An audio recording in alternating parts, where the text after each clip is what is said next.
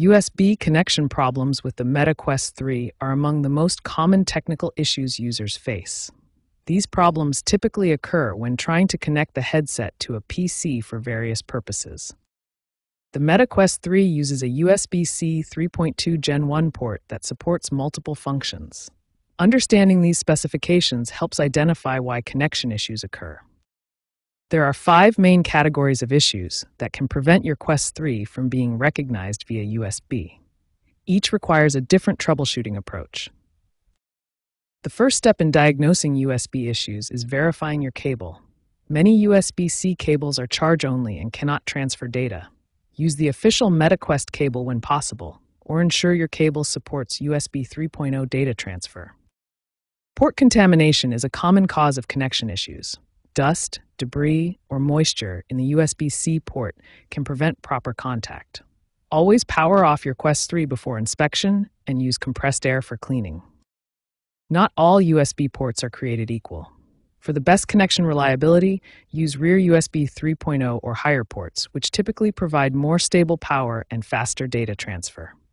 Avoid USB hubs and front panel ports when troubleshooting connection issues. These basic diagnostic steps, verifying your cable, inspecting the port, and testing different USB connections, resolve the majority of Quest 3 USB recognition issues.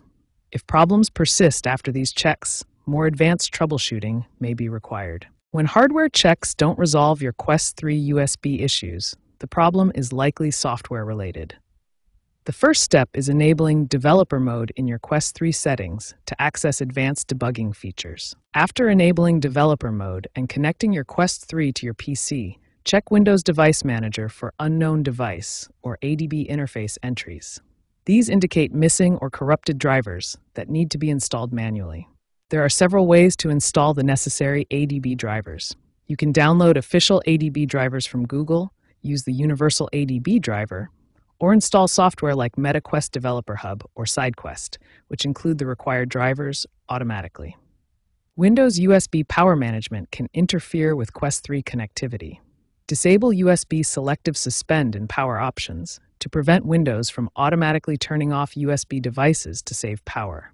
This ensures consistent connection stability. For advanced users, modifying USB timeout values in the Windows registry can resolve persistent connection issues.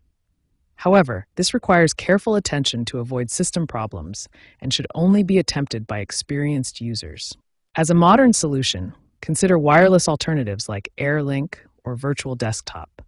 These technologies have become increasingly reliable and popular, reducing dependence on USB connections while providing excellent performance for VR gaming and development.